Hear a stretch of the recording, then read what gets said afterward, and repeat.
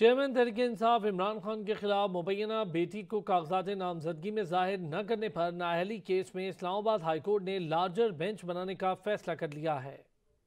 Islamabad high court के chief justice Aamir Farooq ने मुबैना बेटी को ज़ाहिर न करने पर चेयरमैन पीटीआई इमरान खान की नाहली की दरख्वास्त पर समाप्त करते हुए कहा कि इलेक्शन कमीशन बताए इमरान खान की मौजूदा पोजीशन क्या है। इमरान खान का एतराज़ है कि वो अब पब्लिक ऑफ़िस होल्डर नहीं। इलेक्शन कमीशन से कंफर्म करना है कि मौजूदा पोजीशन क्या है। इलेक्शन कमीशन से डी नोटिफाई होने का नोटिफिकेशन मंगवा लेते हैं। दरख्वास्त गुजार ने इमरान खान का दो हज़ार अठारह वाला बयान हल्फी चैलेंज किया है। चीफ जस्टिस आमिर फारूक ने इमरान खान के वकला ऐसी इस अफसार किया। आपकी की जानब से बेंच पर एतराज़ उठाया गया है। वकील सलमान अबूजर न्याजी ने जवाब दिया, आप बेहतरीन जज हैं। हमने सिर्फ़ कुछ मालूम सामने रखी है। चीफ जस्टिस आमिर फारूक ने कहा की दो हज़ार अठारह में ये केस सुनने ऐसी माजरत जाती वजूहत आरोप नहीं की थी। उस वक्त दरख्वास्त गुजार ने मखसूस बेंच के सामने लगाने की इस्तदा की थी। बहरहाल, आपने एतराज़ उठाया तो बेंच की तश्कील नो कर देते हैं। हम लार्जर बेंच के सामने ये मामला रखेंगे। इस्लामाबाद हाईकोर्ट ने केस की मजीद समात नौ फरवरी तक मुलतवी कर दी।